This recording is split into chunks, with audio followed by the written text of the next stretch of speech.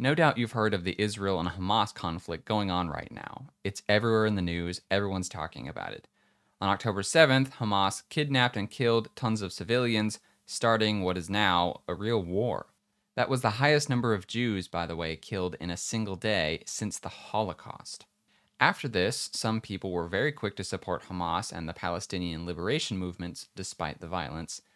But lots of people were quick to support Israel as well and defend the Jewish homeland. But there's one question that I see nobody really addressing all that much. Who exactly are the good guys? This can happen anywhere, of course, but especially in the West, people are begging for our attention all the time and begging for us to choose a side in everything from soda brands to wars in other countries. And the war in Israel is no different. Either you're a Hamas supporter who thinks Israelis are the bad guys, or you're an Israel supporter who thinks Hamas are the bad guys. Clearly, killing innocent civilians is the wrong thing to do, but Israel hasn't exactly made it easy for the Palestinians over the years. They have policies in place that make it impossible for the Palestinians to achieve their liberation in a peaceful way, so they're left with the choice of either going painfully along with what Israel wants or acting out violently, and now you have violence. So now Hamas is threatening not only Israel with these large attacks that makes Israel enraged, but they're threatening their own people because if Israel's going to fight back, Gaza is such a small area with so many people in it, innocent people are just going to get killed all over the place. And now that's what you see. As Christians, we're told to be in the world, but not a part of the world. We're told to remember that all of this is going to come to an end someday. We believe that God will raise people from the dead after they've passed away from this life, but for us that are still breathing, that hasn't happened yet.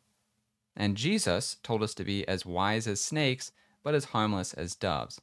Now, that doesn't mean that we're suddenly a doormat, of course, but as Paul said, as far as it depends on you, be at peace with everyone. So, knowing that we're supposed to be harmless and peaceful as far as it depends on us, what do we do when war breaks out in the most politically explosive part of the world? Well, everybody else says pick a side. The truth is that on either side, there are no good guys, only bad guys. No matter who you are, we should condemn the atrocities and remember the sinful nature of humanity. Resist the pressure to join a side. Muslims would find it natural to support Palestinians, and Christians would find it natural to support Jews. But no one should look at the situation as if they have the authority to condemn one people and pardon another. We know the Bible says that no one is good but God. But do we actually live as if that's true? Let me give you an illustration. Imagine a couple of boys get into a fight in a playground. Some of the girls come over and try to break up the fight. When asked why the boys should listen to them, the girls say, well, because we said so, or else. I don't know any young boy that would listen to that. But if a parent or a teacher comes over and demands that they stop, or they'll be put in time out, suddenly you have peace. We and all the other humans around the globe are like the children. How can one of us condemn another? What authority do we have? Instead, we look to God, who is called our Father, for his authority. And then we have peace.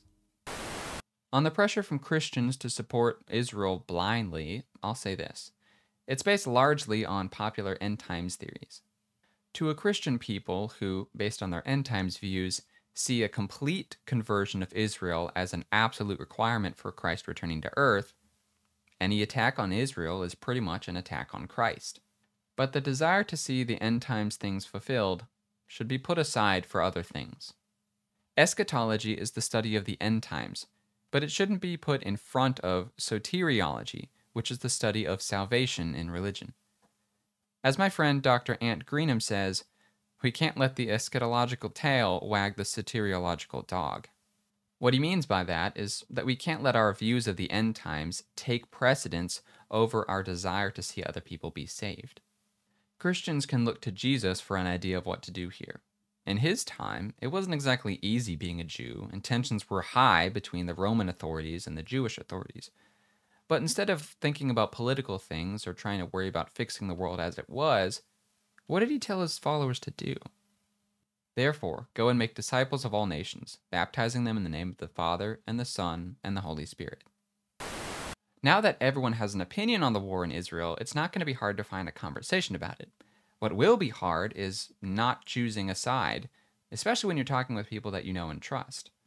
Keep in mind that the grace of God is extended to anyone, whether Muslim, Jew, Palestinian, or otherwise, and that the Great War isn't between Muslims and Jews, or really humans and other humans at all for that matter. The Great War is between God and the forces of evil, and He's already won. Anyone who believes in Jesus and claims Him as their Lord immediately joins the winning team. Don't forget that.